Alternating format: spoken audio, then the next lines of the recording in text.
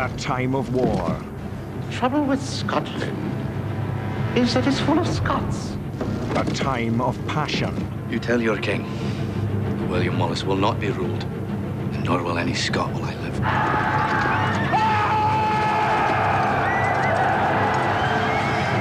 The story of one man's fight for his country's freedom.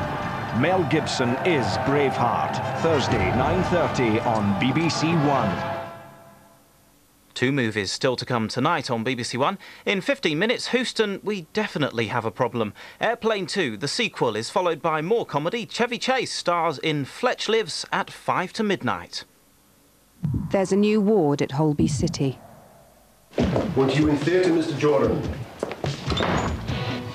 She's a serial swallower. Mr. Mayor would just like to take... Breathe. Well, I'm sure her father will be delighted to get that back. You smoke again, Mr. Pearson, and I will undo what I've already done. Transfer for surgery. Well, I could have made a neater incision with a lawnmower. Try not to kill any of the patients. Holby City. Anton Meyer, consultant. 12th of January on BBC One. Mom, parking! The programme you voted Best Talk Show is back. It's how a chat show should be done. He talks, then listens, then listens, and then listens and listens and listens and then talks. I can remember being eight or nine years old, and my mum would allow me to stay up only to watch the Parkinson show. He beats everyone else hands down, I think. He's in a class of his own. So join me and my guests for a brand new series of Parkinson. Starting next Friday at 9.30 on BBC One. Don't miss it. An instrumental version of Brimful of Asha using lemons is just one of the highlights of a brand new series from Reeves and Mortimer starting in a couple of minutes on BBC Two. This is BBC One. Now, the main evening news with Peter Sissons. The time is quarter past ten.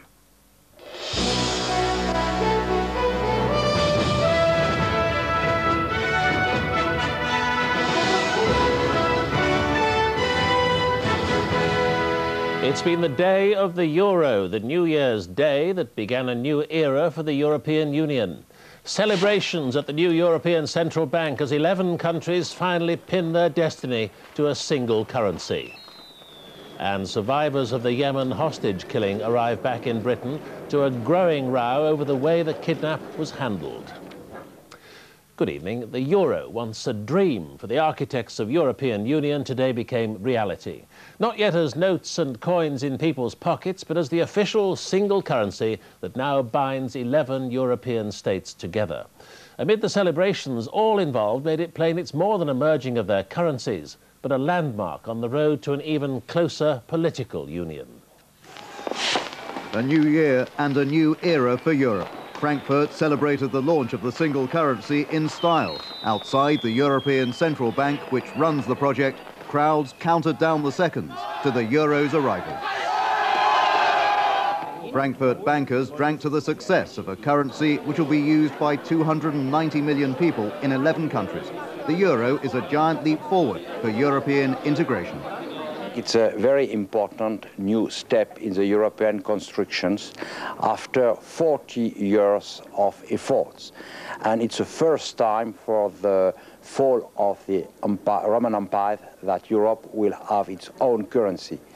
At one of the few Frankfurt supermarkets open today, I went shopping with the new single currency. The till receipt gave me the choice of paying either in euros or German marks. 21,37 Euro. For the moment, it's possible to pay in euros only by cheque or credit card. There'll be no notes and coins for another three years. Until then, existing national currencies, such as the mark, will continue to be used for all cash transactions. Shoppers will undoubtedly take time to get used to the single currency. Opinion polls show that a third of all EU citizens still have reservations about the project. They won't be won over until the new euro proves itself to be as strong as the old currencies it's replacing.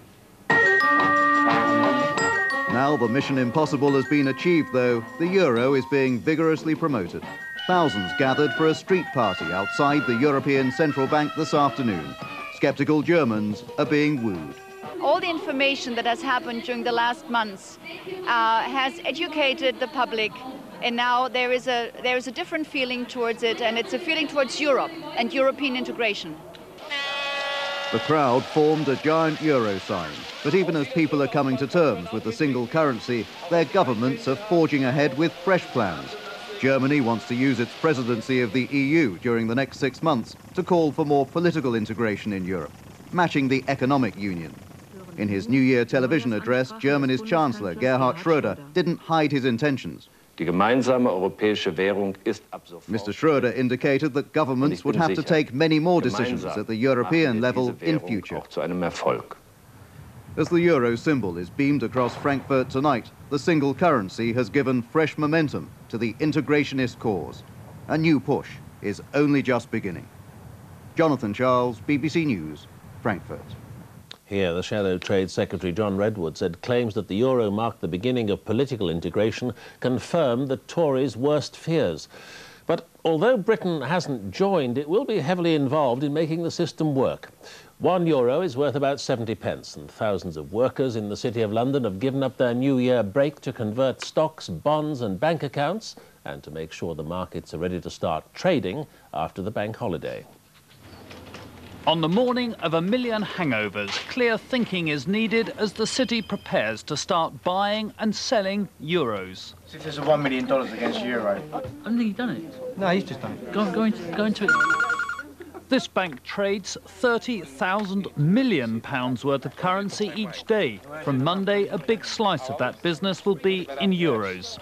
Three years of planning will ensure that everyone knows what they're doing and that the computers can cope but glitches are inevitable. Individuals may make errors, clients may make errors, sums will be transferred to the wrong accounts, people might recognize, not recognize prices in euros because they're used to looking at them in other currencies, and there'll be problems of that nature, but I don't envisage major system problems. Canteen and restaurant staff have also had to give up their holidays. City hotels are booked full. So, how's it going? It's going pretty well, actually, yeah. We were here at 7 this morning and it's going okay, yeah. This is an important weekend. People have been working a long time for, for this particular weekend, and yeah, it's, it's in all of our interests to get this right. No one will know for sure until Monday whether the Euro preparations have worked. Britain may have rejected the Euro, but the city very definitely has not. The success of this conversion weekend is seen as important in securing London's future as the financial capital of Europe. Peter Morgan, BBC News in the city. Eight British tourists who were kidnapped in the Yemen and survived a gun battle have arrived back in Britain. After being reunited with relatives, they paid tribute to their fellow hostages who died in the clash between the kidnappers and Yemeni government troops. The shooting left three Britons and an Australian dead. Another Briton who was wounded will remain in the Yemen until she's fit enough to travel. Very, very, very warm welcome to you. Despite a day spent travelling, the hostages were tonight able to smile as they arrived back at Gatwick Airport. Still tired, they spoke of their ordeal and of their sorrow at losing four of their friends in the bloody end to this kidnapping. I'm desperately, desperately sorry, uh, particularly as we've spent um, the last 48 hours with a gentleman who's, who's been bereaved, and, it, and it's been awful. I, I, I can't say any more than that. Mrs. Mattox was talking about Lawrence Whitehouse, who spoke before he left Yemen of the death of his wife Margaret, killed during the failed rescue attempt. I have had 27 years with a very wonderful person, widely respected, well loved, and well known. I have escaped death by thousands of an inch. The Foreign Office Minister, Joyce Quin, tonight left London to meet the hostages after summoning the Yemeni ambassador for the second time in two days. The government is still not happy with the Yemeni version of events. At Gatwick, the hostages said they were not clear who fired first, but spoke of the strength that brought them through their ordeal. We're just ordinary adventure travellers, but I, I think perhaps it would be fair to say that we are a special breed, and in that we've got qualities that bore us through all this. The former hostages will now travel home with their friends and relatives. But the Foreign Office says that over the next few days, it will want to question them individually to try to find out exactly how this tragedy happened. Duncan Kennedy, BBC News at Gatwick Airport. A full-scale investigation into the circumstances of the kidnapping is underway in the Yemen. The British government has expressed concern about conflicting accounts of how the hostages died following a second meeting with the Yemeni ambassador in London. A team of Scotland Yard detectives and FBI investigators have arrived in Yemen to try to establish what went wrong during the rescue attempt. The survivors of this week's bloody kidnapping may be home at last, but here in the Yemeni capital Sana'a, Western tourists are still a common sight. They've come here for the culture and seem unperturbed by the brutal drama that took place in the south of the country only three days ago. Most say they've found nothing but kindness in the Yemenis they've met, but still they are an easy target for any extremists with a grudge against the West. Yemen's interior minister announced on Thursday that his forces had foiled a plot to blow up the British consulate in Aden. In a poor country awash with guns, his government appears keen to broadcast the international nature of Yemen's Islamic extremists. In a combined effort with Britain and the US, the Interior Ministry here has launched an investigation into last Monday's kidnapping, which left four tourists dead and two wounded. The British government says it's still not getting enough information about what happened. The four detectives from Scotland Yard, now in Sana'a, will doubtless be trying to learn more about whether the shootout with the kidnappers was really necessary. What happened on Tuesday is something very different from the normal uh, uh, kidnapping incidents, and we need to work out exactly what the implications are. But Yemeni society can be bewildering and often unfathomable, even to other Arabs. The men from London and Washington now have an uphill task before them. The fact that both Britain and America have sent investigation teams here to Yemen shows just how seriously they're taking this recent kidnapping. They want to know more about who the kidnappers were and whether or not they're part of a wider plot to attack Westerners in the Middle East. Frank Gardner, BBC News, Sana'a. Transport police in North Wales are investigating the death of a teenager who was hit by a train at Gaerwen on Anglesey. The 18-year-old was walking with a friend by the side of the track. He was taken to hospital in Bangor but died later. Police say the discovery of a car owned by a couple who've been missing since September with their two foster daughters is a major breakthrough in their investigation. Jeffrey and Jennifer Bramley disappeared from their home in Cambridgeshire after being told they couldn't adopt the children. A climber has died after falling more than a thousand feet on Ben Nevis in the Scottish Highlands. Paul Fuchs from Nottingham was climbing with three other people. Four people died in the same area on Tuesday when they were hit by an avalanche. Their three companions who survived left hospital today.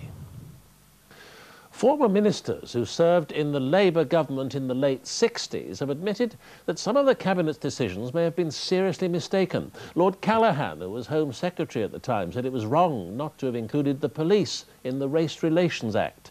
His admission coincided with the publication of the Cabinet records of 30 years ago. Secret government documents show the depth of the 1968 economic crisis after the devaluation of the pound and worsening race relations. Asians fleeing from Kenya added to the tension which followed Enoch Powell's notorious Rivers of Blood speech. The government brought in the Race Relations Act, and originally it was intended that the police would have had to comply.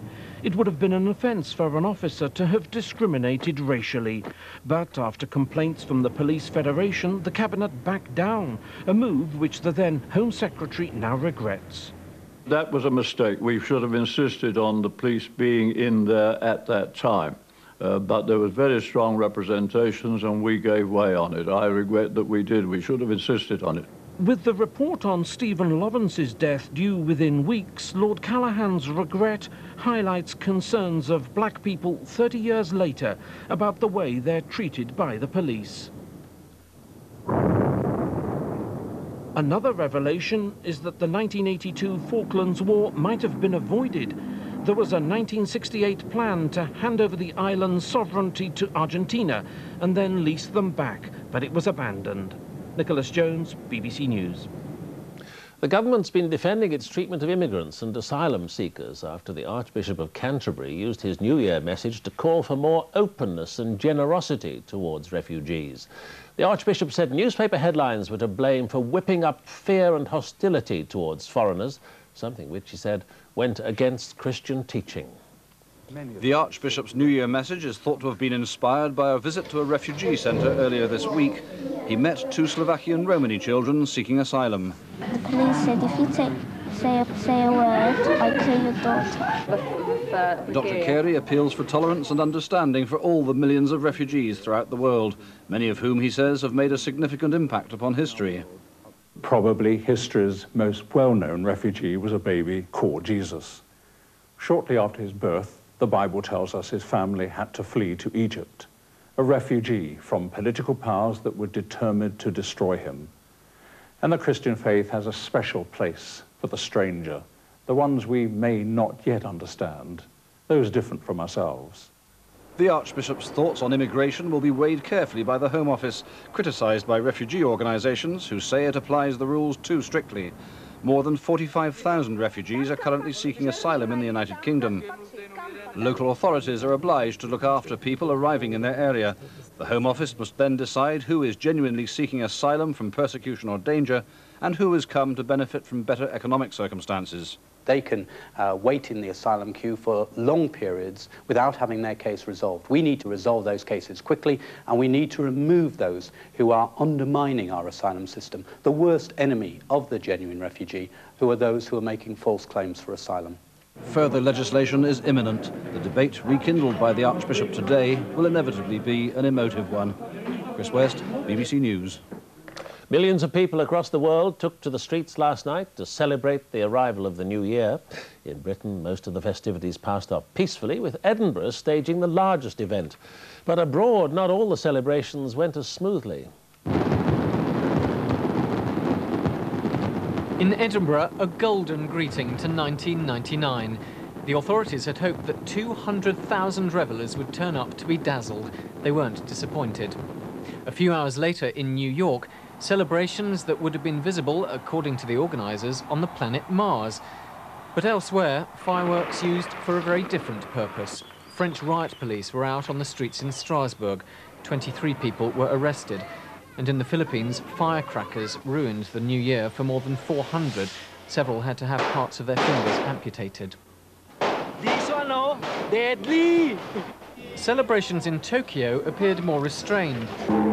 The gong dispels evil spirits, which many Japanese believe have dogged the country's economy over the past year. Berlin was in historic mood. Later this year, she once again becomes the capital of a united Germany. But wherever the new year was marked, the party organisers can't relax for long. They're now working out how to make it a thousand times better next time around. And the countdown has already begun. John Young, BBC News. And that's all from the BBC Newsroom tonight.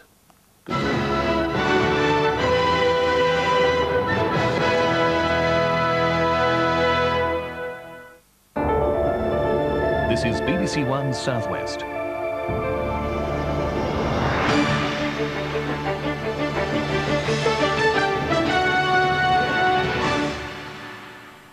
Hello, good evening. The first hunts of the year were today greeted with protests and a campaigner's promise to make them the last.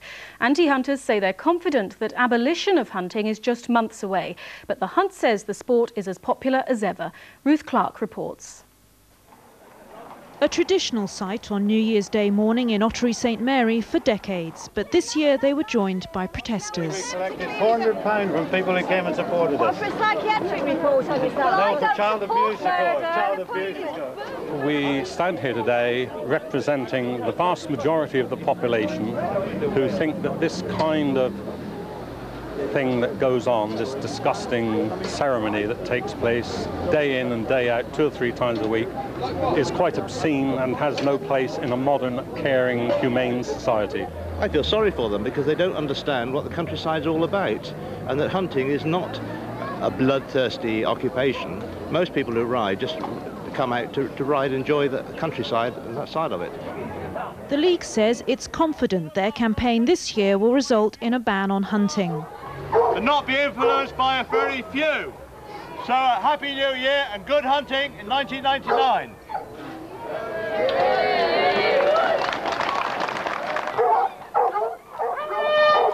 But the hunt says its following is as strong as ever and we'll see many more New Years in like this. Police arrested 115 people in Devon and Cornwall during the New Year's Eve celebrations. Police say the number of arrests is similar to previous years. Most were made for alleged assaults. There were also a large number of drunk and disorderly offences. Police say there were no major incidents at either Dartmouth or Torquay, both scenes of big celebrations. Plymouth was one of Britain's cities that could have been devastated if Russia had launched a nuclear attack. A secret document from 1967, which was made public today, shows military leaders believe the Soviets had planned to attack the city and its naval base with a two megaton bomb. The Southwest's first Education Action Zone is officially operational from today. Radical ideas to improve exam results and attendance levels will be promoted during the coming year for schools around Devonport in Plymouth. On to the weather now for tomorrow. It's a mixture of sunshine and showers. Temperatures around 10 degrees Celsius, that's 50 Fahrenheit, but it'll feel cold in a strong to gale force south.